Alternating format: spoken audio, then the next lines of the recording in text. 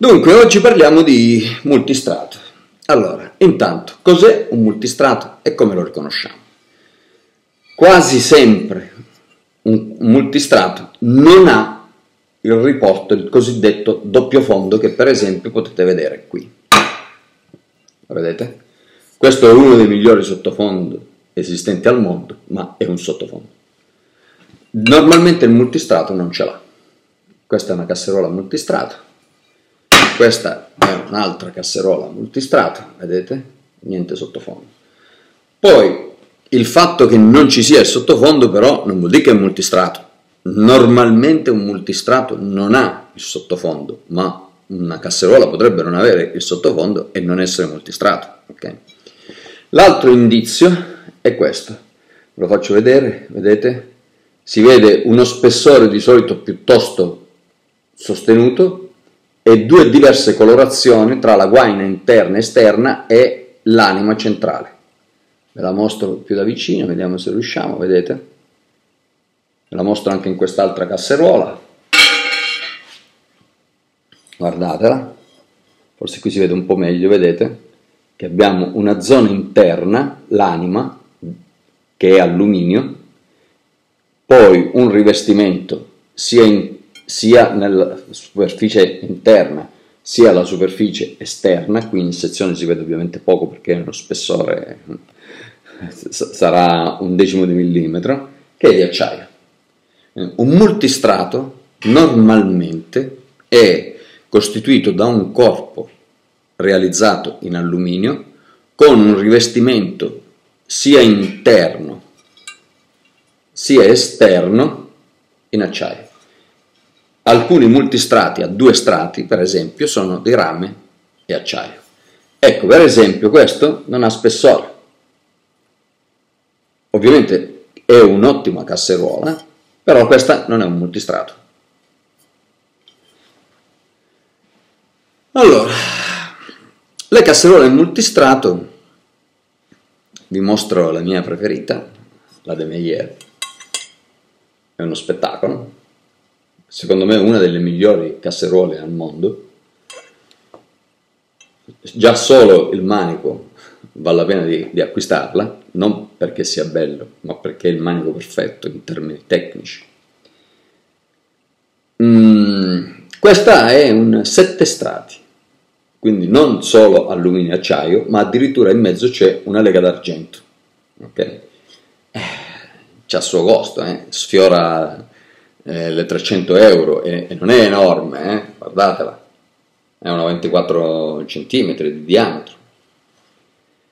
Questa è una De Meyer, quest'altra invece un po' più piccola, è una Baldassare Agnelli, Pentole Agnelli sarebbe il marchio, poi ce ne sono altre simili, costa decisamente meno, per esempio ci sono le De Bouillet che si pongono a metà strada tra le De Meyer e, e le Pentole Agnelli, ce ne sono anche altre. Eh. Ruffoni, per esempio, è un ottimo prodotto italiano, a livello non dico di De Meyer, ma, ma quasi. Fa un bellissimo multistrato, una, una, linea fantastica che ho avuto per, per tanto tempo. Poi, quando partii per l'Olanda, la vendetti perché avevo tro, troppe casserole in casa. Però la De Meyer me la sono tenuta e questo già vi dice qualcosa. Allora, si usano principalmente per l'induzione, sono nate per l'induzione in pratica. Però guardate, hanno così tanti vantaggi che ormai si tende a usarle anche sui fuochi normali. Ovviamente hanno mm, qualche caratteristica svantaggiosa, per esempio il costo. Cioè una buona multistrato costa sempre molto di più che una casseruola o una padella in alluminio crudo le buone multistrato arrivano a costare quasi come una cassola di, di rame, non, non, proprio, ma insomma eh, non è tanto distante. Va detto anche che sull'induzione il vantaggio che il rame ha sul gas un pochino si perde, cioè resta ancora preferibile al multistrato, ma la differenza di costo che c'è tra il multistrato e il rame tende a non giustificare l'acquisto del rame sull'induzione. Quindi sull'induzione col multistrato siamo quasi al top, ok? Mentre invece no all'alluminio col riporto sotto d'acciaio per, andare, per poter funzionare sull'induzione, perché a quel punto tutto il vantaggio dell'alluminio è quasi perso. Eh, è, è meglio che un normale acciaio, ma io vado decisamente con multistrato. Allora, il concetto qual è? Il concetto è che un multistrato tu metti il calore sul fondo e l'alluminio dell'anima del della nostra casseruola ti porta il calore fino in alto. Quindi tu cucini da tutti i lati, hai una cottura più regolare, tempi inferiori di cottura, miglior sviluppo di vapore nel caso in cui tu mi piazzi su il, um, il coperchio, soprattutto riduci gli hotspot, eh, non li annulli perché gli hotspot, cioè i punti di concentrazione del calore, un po' ci sono sempre, però un po' li riduci rispetto ad altri materiali. Perché? Perché puoi tenere temperature più basse, non perché in realtà per, suo, per sua caratteristica il multistrato li riduca, anzi per sua caratteristica a parità di gas il multistrato tende ad aumentarli rispetto all'acciaio, ma il vantaggio è che tu puoi tenere una temperatura decisamente più bassa perché la casseruola ti lavora su tutta la superficie fino in alto.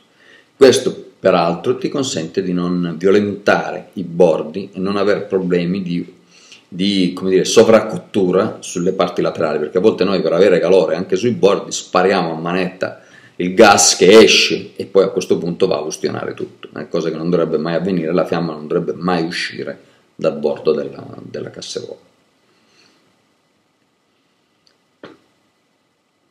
Mi pare di avervi detto tutto, eh? quindi interno in alluminio e rivestimenti interno e esterno acciaio, per interno dell'alluminio intendo l'anima, in sezioni del, del nostro corpo è fatto in alluminio solitamente e poi abbiamo le guaine in acciaio sia all'interno sia all'esterno. Normalmente è un triplo strato, acciaio, alluminio, acciaio. In alcuni casi per le casserole in acciaio sono due strati, eh, casserole scusate in rame acciaio sono due strati, appunto quello interno sottilissimo, quasi invisibile se non fosse per il colore, in acciaio e tutto il corpo della, della casseruola in rame. A tutti gli effetti vengono considerate dei rame, nessuno parla di multistrato in questi casi, però tecnicamente sarebbe un multistrato. E sono specifiche quindi per l'induzione, per l'induzione io le considero in realtà obbligatorie, cioè io parto dal presupposto che chi si compra l'induzione compra un multistrato, perché comprarsi l'induzione e non comprare un multistrato vuol dire fare eh, una scarpa e una ciabatta, come, come dicono alcuni. Se avete domande scrivetemi, insomma, compatibilmente col tempo, un po' alla volta vi risponderò. Per adesso ciao a tutti.